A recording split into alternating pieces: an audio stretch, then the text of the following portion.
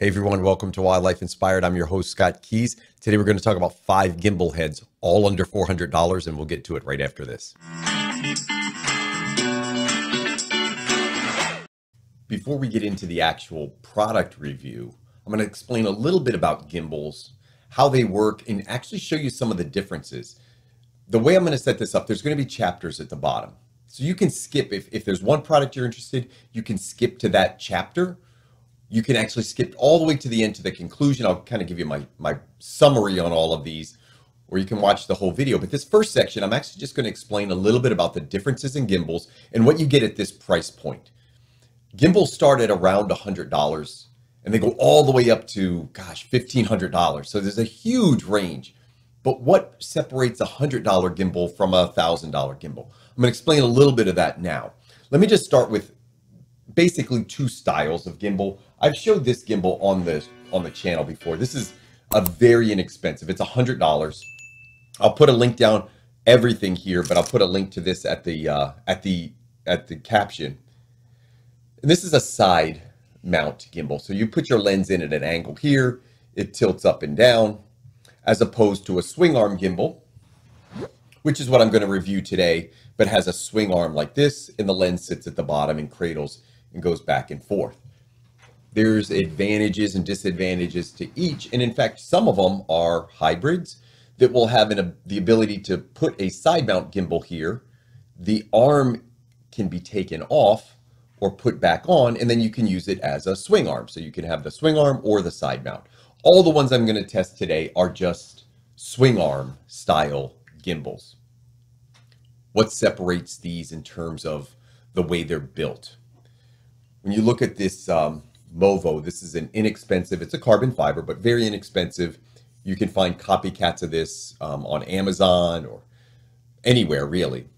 The bottom of this is one of the ways they save prices. They just thread it directly into the aluminum. Probably not the safest or best design, but again, it's a cost effective way to do it. I'm actually going to take this apart. I'm going to show you this horizontal panning, and that's the way these gimbals are made. They have a horizontal panning system. If you loosen this up, you'll see that it kind of swivels back and forth. And then it's got a vertical tilt that goes up and down. And again, some of them have the swing arm and some of them have the side mount. Basically, as you get more expensive, the components become better machined. Most of these operate on friction. So essentially, you're tightening this knob.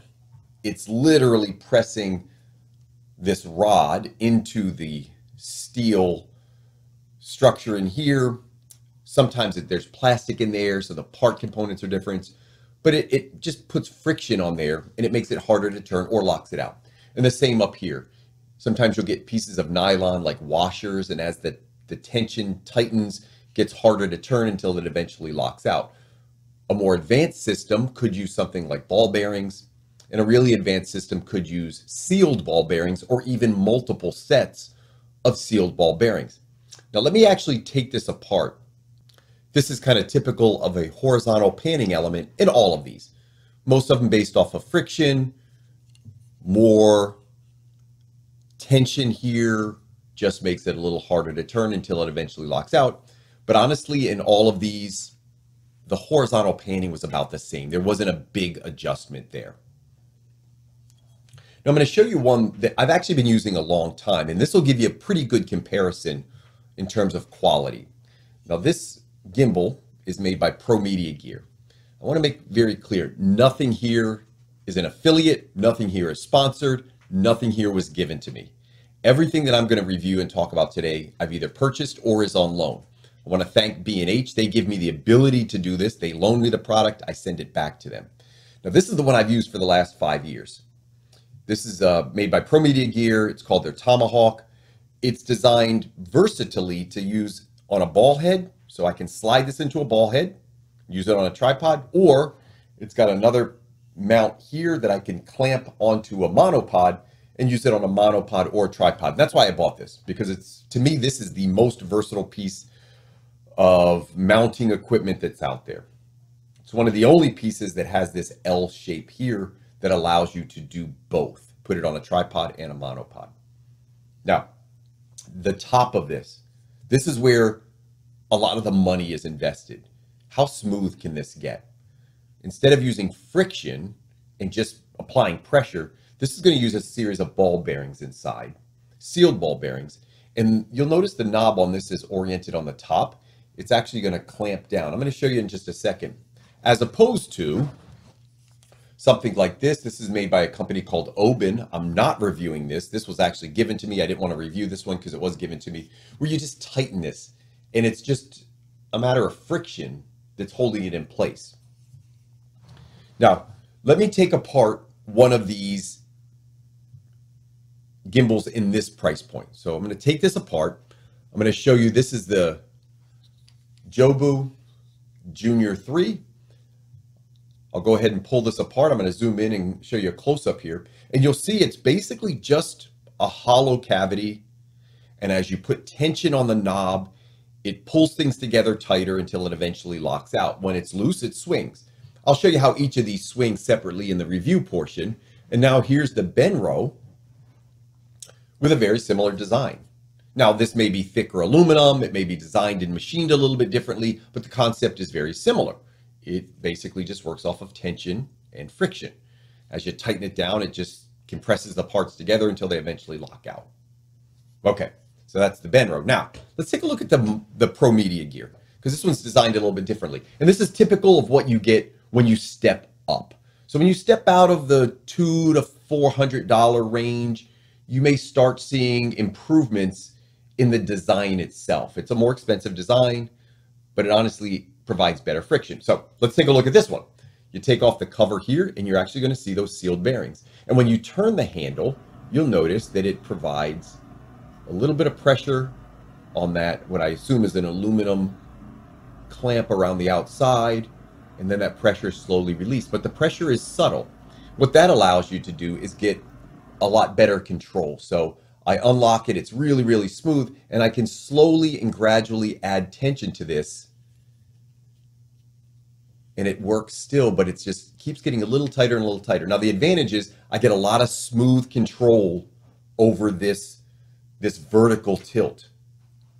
A lot of the other units don't really have that. I'll go back to this Oben where it's almost locked out or not. Like it's kind of like this is locked and this is unlocked, but in the middle, there's not a lot of fine adjustment. Now, in some cases, that just means you can get there faster, so you can lock it out quicker.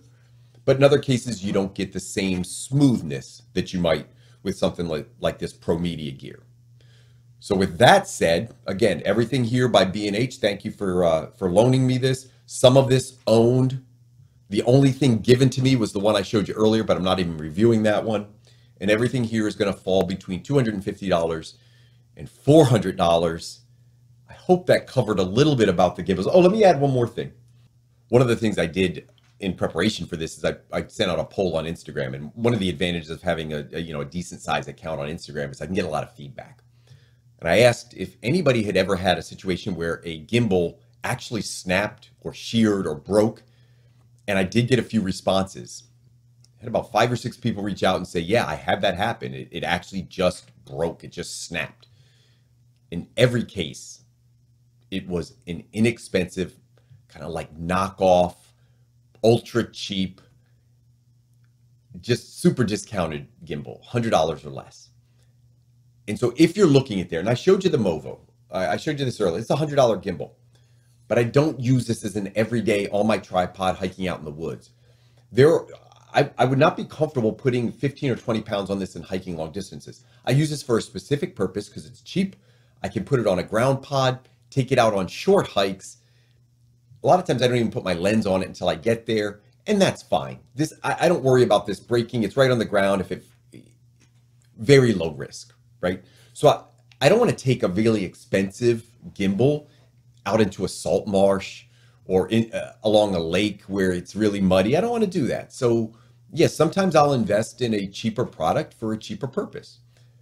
But when you do that, if you do that as your primary gimbal and you're putting a 5,000 or $3,000 lens on there, or in some cases a $10 or $15,000 setup, do you really want to chintz out on that 100 or $200? So try to get into this price point. At 250, certainly at $400, you're going to get a gimbal that I think y- you should be able to depend on by a reputable company who does this. It's not a knockoff. It's it's not some third party. It's a reputable company. So think about that.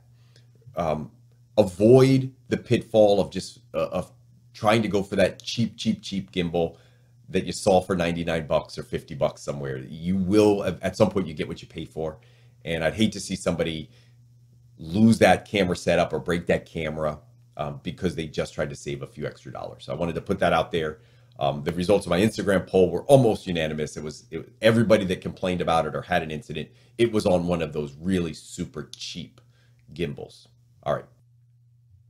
Before we get into each product, one more thing I want to talk about is just balancing uh, the lens onto a gimbal and, and what to look at, why it applies to, to what you might want to purchase. It's not just how to balance it. It should be balanced so that basically when there's no tension on here, it just rests in place and, um, you know, it kind of just sits in the middle. So it's, you got to move it back and forth. However, I've got a balanced setup, meaning I've got a heavier lens up on the front and a heavier body on the back. And because of that, it's kind of designed, this setup is designed to work with each other weight wise.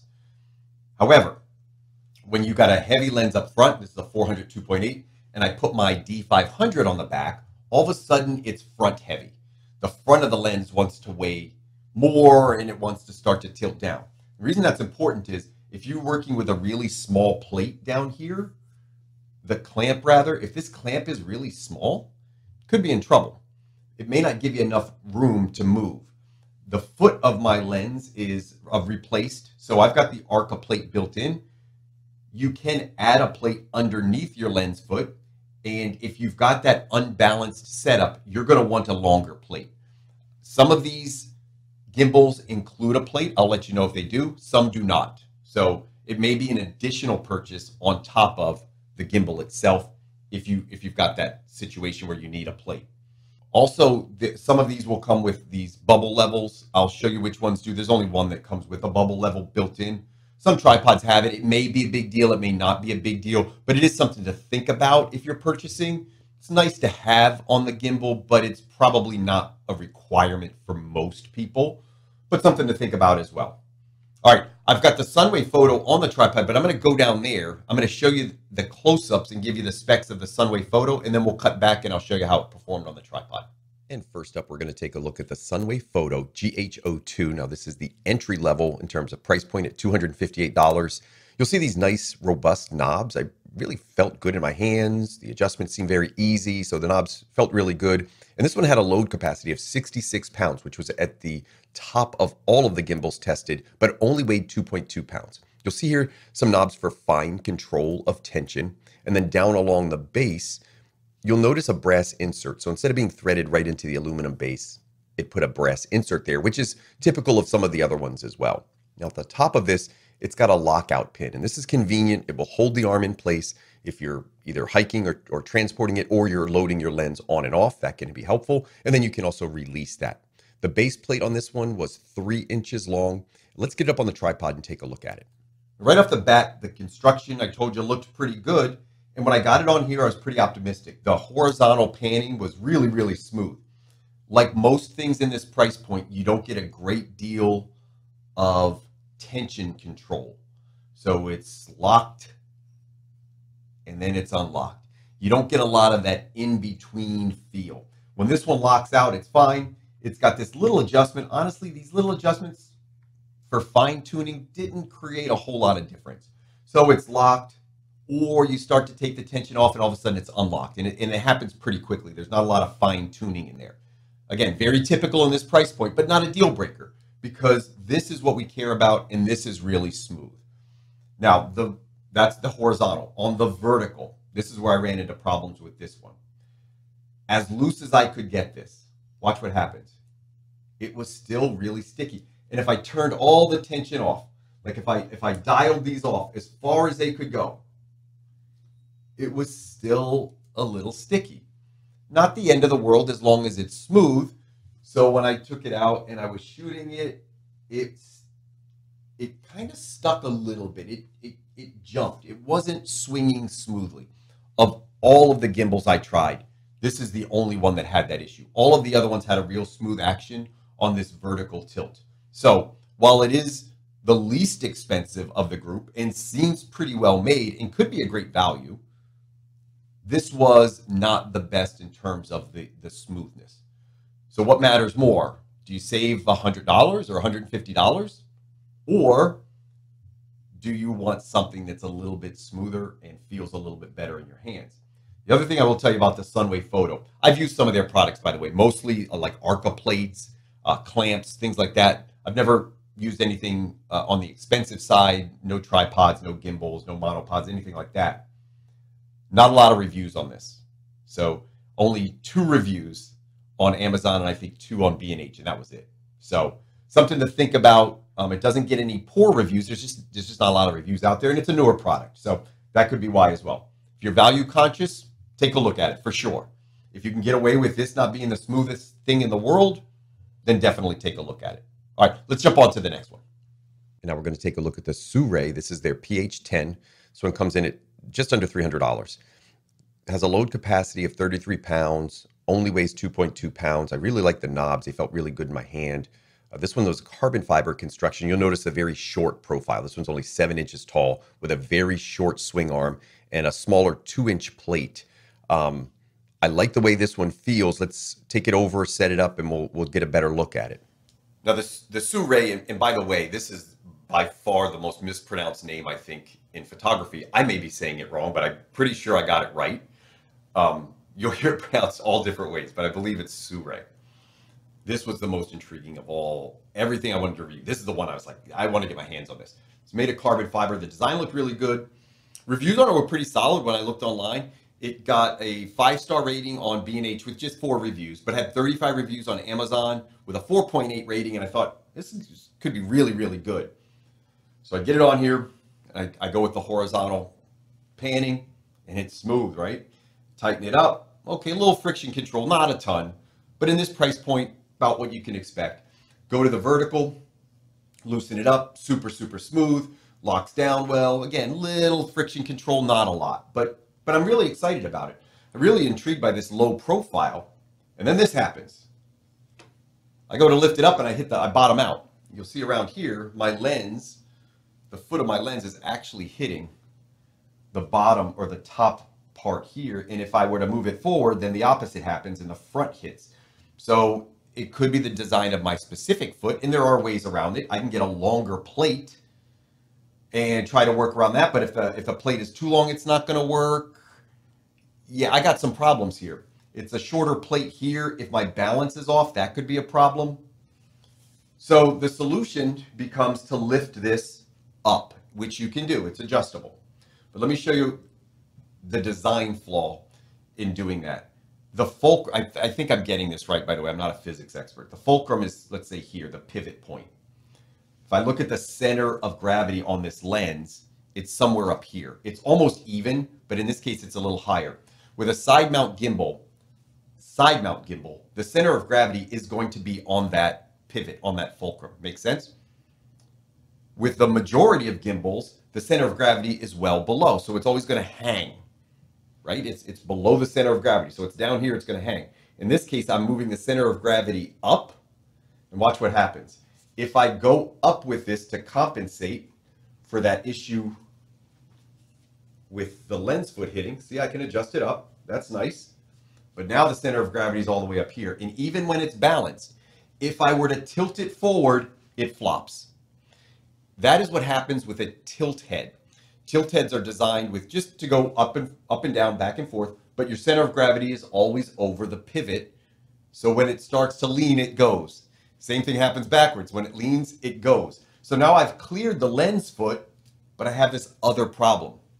So is it a throwaway? No. I, I think the design is a little flawed, but the construction is really good. The weight is terrific. And there may be a place for low angle photography. So if you're setting up low, you don't really worry about going up high or tilting down low. You just need a little bit of tilt in here. And because of this lower profile, you're also going to get a lower angle. You're going to be closer to the ground. So if you're shooting a lot of low angle stuff and you don't need to be up in the air all the time, this actually could be at $299. This could be a great, great choice. But you've got to you've got to consider at least is that going to be a problem? Is your lens foot going to be a problem? And there may be other. I don't. Mine is a. Um, I think mine's really right stuff. Let me check. It's either Kirk or really right stuff. It's really right stuff. Um, maybe there's another lens foot that's designed differently, and, and it wouldn't be a problem. If you get it though, if you purchase this, I would immediately test it out and see if you're going to be comfortable with that and see how your lens foot performs on this specific swing arm. All right. So again, I think it could be a really great value. The price seems right on and it seems like it's pretty well made, but got that little problem there. All right, let's get on to the next one. I'll show you the close up of that. The third gimbal we're going to look at today is from Jobu. This is their Junior 3, price point of $338. By far the smallest, lightest, but also has the lowest load capacity. Only 12 pounds on this one. Weighs just a pound and a half, seven and a half inches tall with a two and a half inch plate. Very simple design. The knobs are a little smaller. The base is really small, but the action seems pretty good. But again, you'll see when I get it on the tripod, the size of this is, is different than the others that we're going to look at. Before I put this on, I will show you, I didn't show you in the close up.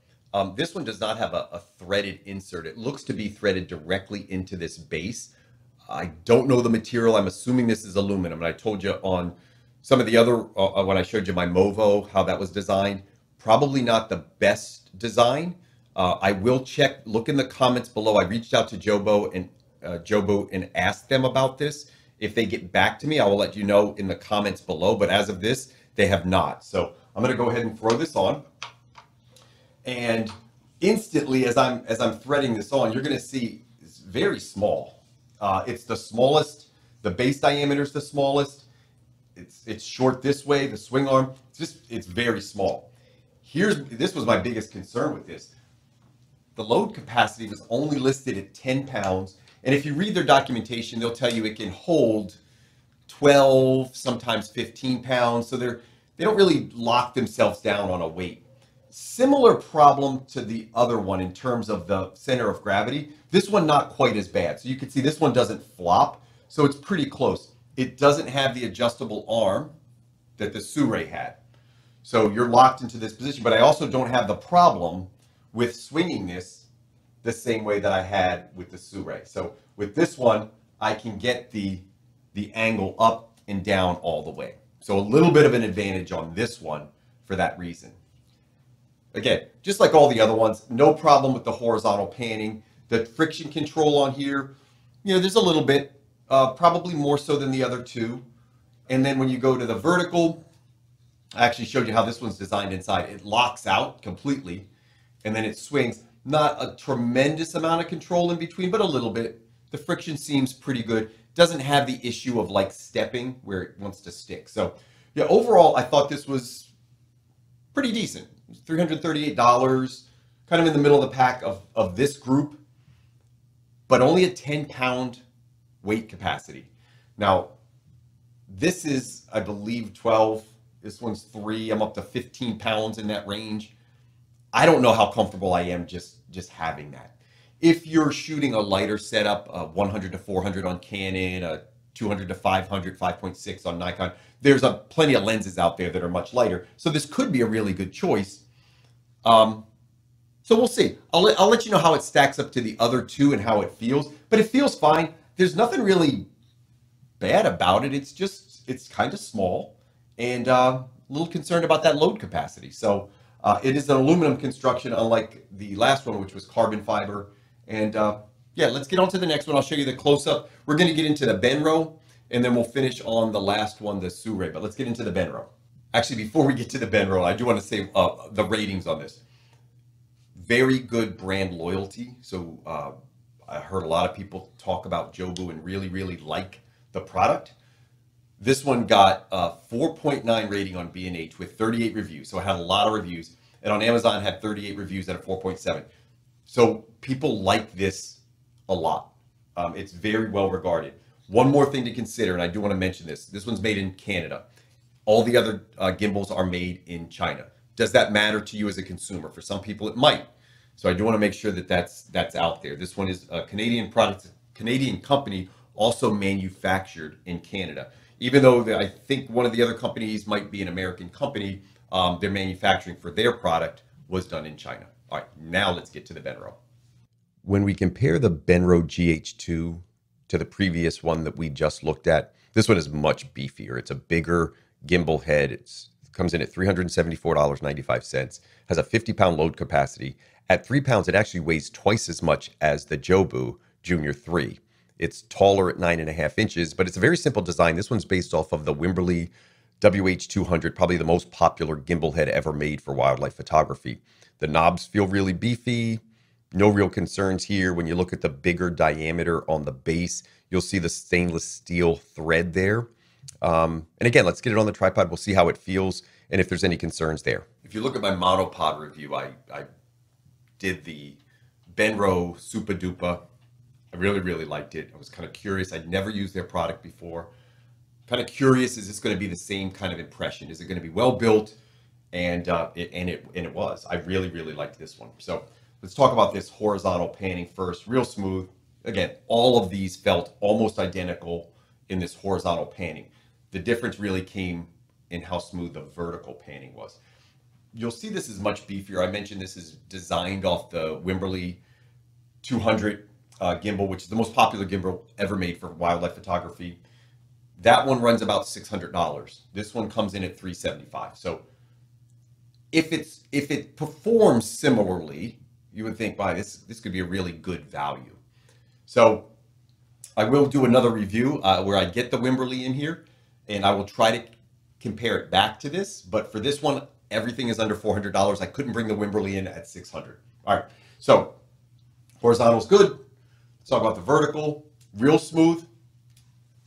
It's got a little bit of tension control, so you can see there's a little bit of tension there. So this one had a little bit more tension control than some of the others, and then the lockout was really solid. There's no movement on the lockout at all. Almost, I didn't really have a problem with any of the lockouts. Um, a couple of them, if you locked it out, you could still move it, but you're rarely going to be in a position where that's the concern. The concern is, will it, if I lock it out, is it going to fall from here or with light pressure will it fall? In none of them, I had that problem with. Um, the plate was was longer than some of the others, and all of the knobs were were about the right size. So this one had no drawbacks. Really couldn't find a flaw with it. Um, so I think the the the biggest thing I took away from from the GH2 was it's just it's just solid. It wasn't anything amazing about it, but there certainly wasn't anything bad about it. It's adjustable here, so if I want to raise it up a little bit, I can raise it or lower it. Again, the knobs were comfortable, the plate was large, the swing arm action was good, the horizontal panning was good. It's a little bit beefier than some of the other ones I looked at. So uh, quickly on the reviews, very highly reviewed product. Got a 4.8 on B&H with 63 reviews and a 4.7 on Amazon with 339 reviews. So a lot of people are using this. This is an older model. I'm hoping to do a, a, a, the next price point up where I can actually review one of their newer models. But this is an older model. It's been around for a long time. And um, why would you discontinue it when it works? So the Benro GH2. And let's jump on to the last one now. We'll take the close-up close-up look uh, at the uh, Sirui. And last up, we've got the Sirui PH20. This is kind of the big brother of the PH10. It's a taller version. Now, this is also carbon fiber construction. This is nine inches tall. It's got a 40 pound capacity, load capacity, only weighs 2.4 pounds. The plate length on this one's three inches, uh, similar in shape to the Benro, but different in a couple ways. You'll see this really large, easy to turn knob. I'm going to show you that a little bit more when we get it on the tripod. But the swing arm felt really good here. Um, but there are a couple challenges with this. We're going to talk about those when I get it up there and set up. So let's go do that now. All right, and the last one is the Sirui. This is the PH20. It's their kind of big brother to the PH10. They make what, another one called the PH30. It's the top of the price point at 300. It just snuck in, $399. Really smooth on the horizontal, really smooth on the vertical. I wouldn't say it's it sticks. It's not it, even at its loosest. Um, it feels really really good. So it doesn't stick anywhere. Felt really smooth. So are there any downsides to this one? Because on paper this is a carbon fiber build as opposed to the aluminum build of the Benro. So if everything is smooth and this one's carbon fiber, why isn't this better? Well, a couple things you may not like about this. So when I read the reviews, I'll show you on the horizontal first. The action was really smooth, but as soon as you put tension on it, I don't know if you'll be able to hear this. You can hear it. Okay. So it's it's actually rattling. And now that's not a design flaw. It's designed with a sawtooth. So there's these teeth on the top and teeth on the bottom, and when they're loose, they don't touch. As you tighten them up, they start to connect and then they fit into each other to lock it in place. So that sounds like a good concept, except when you don't have full pressure on, it's kind of awkward. It makes this rattling noise. And when you do lock it out, I will say this, it locks firm. It's by far the firmest locking in the horizontal position. But because there's increments, so if you think of these teeth are in increments, you may not get the position you want. So it's not an infinite adjustment. So if you're shooting something and you lock it down and you want to be just a little bit over, you can't move this a little bit. You may have to actually adjust your tripod just a hair. To me, that's not the end of the world. It's not that big a deal. I will tell you in the reviews, some people hated that. So to me, I don't know that there's a huge advantage to that. Seems like some people don't like it, but the advantage is when those teeth are engaged and they lock down, it makes a very solid connection. So, and again, when it's loose, it's loose and it doesn't matter. Notice the lock. I want you to notice how far my hand travels. About a quarter turn. Some people really, really like the idea of having a, they call it like a quarter turn lockout, where you can go from loose to locked just like that. There's not a dial. As you get more tension control, sometimes you have to turn the dials more. And I'll tell you, like with my ProMediaGear, I showed you how smooth it is and how much I like it. But to lock it out, I've got to make several turns to get it firm and locked out. This is designed the opposite way. You're not going to get a lot of tension control, but watch this top one. It's now completely unlocked. A little more than a quarter turn and it's locked. A little bit more than a quarter turn that way and it's unlocked. This could be something that is of value. I like the way this knob feels, by the way. So I don't mind this quarter turn at all because for me, when I'm shooting, I'm either locked or unlocked. I don't need a ton of tension control. It's nice to have. The design sometimes feels a little bit better, but this may not be a deal breaker for me. You've got to think about whether this horizontal is going to be a deal breaker for you, um, because I think some people it did seem to bother. But again, really smooth action, carbon fiber construction. Really, really, I, I really like it. The plate's nice and big. It's adjustable up and down. The knobs felt good. Um, this little knob on here I showed you earlier, this one's a little small. I didn't love this knob over here. But other than that, that's really the only other negative about this. So uh, I'm going to actually come back. I'm just going to do a quick conclusion. I'm going to put one of them back on here. So let's see which one I decide to put back on. So I'm back for closing thoughts. And this guy's back. I put the Benro back on because in these closing thoughts, I thought if I was a consumer and I had to choose one of these five, which one would I look at? Now, budget could be a determining factor. So this is 150 or 125 dollars more than the Sunwayfoto. If I was looking just at value, I would probably go with the Sunwayfoto if I was comfortable with the fact that it hadn't had a lot of reviews and it was a newer product. If I was looking for something I just I really needed a slam dunk. I can't miss I'm going to spend a little bit more than the entry level at $375, not even the most expensive one here. I just couldn't find any flaws with it. So, based off the reputation, the amount of reviews, not one review mentioned breakage, slippage, any problems with mechanics. I just thought this would be a really, really solid choice. Now, I do want to say it's not the only choice. I just think if, if it was me, this is probably where I would end up. Now, let me tell you a couple other things I would consider. If you're looking at a smaller piece, uh, this little Sirui really intrigued me. I showed you the flaws. It absolutely has some issues. But if you're doing low angle work, I would probably, I would actually definitely look at this one even over the Benro because I just think it's it had a really nice design in terms of its height being short and compact. Its strength is its opportunity. It's it's the fact that this swing arm is just so short that it presents some other problems. But for low angle work, I would definitely consider this. The Jobu had tremendous ratings. If you have a very light setup and you want to save 30 or 40 dollars, yeah, there's no reason. It's quite a bit smaller than the Benro, But if you're looking for a smaller setup and you've got you've got a smaller lens, smaller body, lighter setup, um, there's no reason this doesn't work. And tremendous reviews and good brand loyalty. And again, if the if the manufacturing, if the country of origin matters, you could take a look at this. If budget was your only concern, I mentioned it's a little sticky, not as smooth, but I don't see issues in here that I think would cause me to say don't buy it.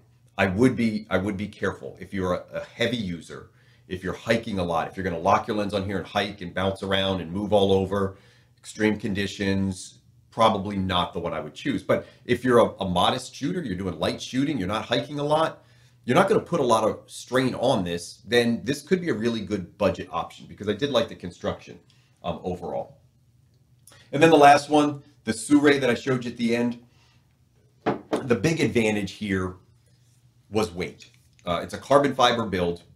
I liked this knob. I liked this big knob. Since we're not getting a lot of friction control anyway, it seemed to make sense to just have a quarter turn or, you know, maybe a half turn lockout as opposed to these, which you kind of screw around. Each of those was very similar in that way. So these half or quarter turn lockouts kind of made sense. Um, the one thing I will say about Sirui is when I read through, you know, just dozens of reviews, uh, this was the only company that came up with service concerns. Uh, some of the comments might be like, I tried to contact them, they were late to get back to me, they weren't very responsive. So that's something to consider. Uh, I've only worked with Benro, and they were very, very good in terms of customer service. I've also heard the customer service at Jobu was very, very good. I haven't experienced that, um, but I, I have heard from other friends that have worked with them that they're really, really great to work with. So uh, a couple things to consider. So yes, there are options out there. Each one could make sense.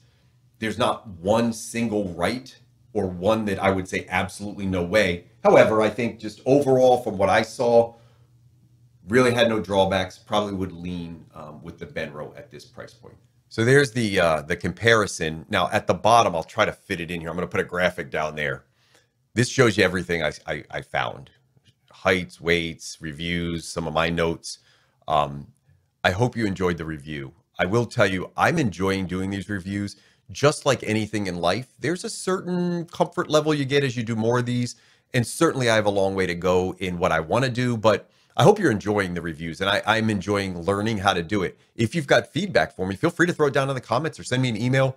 Um, I do want to get better at just these product reviews. I enjoy getting my hands on the product. I enjoy seeing different companies that I don't get an opportunity to do that. I do want to thank B&H uh, they were the the partner that allowed me to get this stuff on loan. Again, none of this was given to me, so everything's on loan. I have no affiliation with these companies, so it's great to just be able to tell you what I think without feeling obligated to anybody in any way. I always try to make these reviews transparent, so I hope you appreciate that part as well. If you have any questions, throw them down in the comment. If you own one of the products and you'd like to talk about it, whether it's good or bad, put it down in the comments. It's really nice to use these forums as almost message boards where others can jump in and get some feedback. I have affiliate links down there. They don't cost you any more, but they do help support the channel. So if you're interested in purchasing one of these, feel free to jump down there and uh, check out the links below.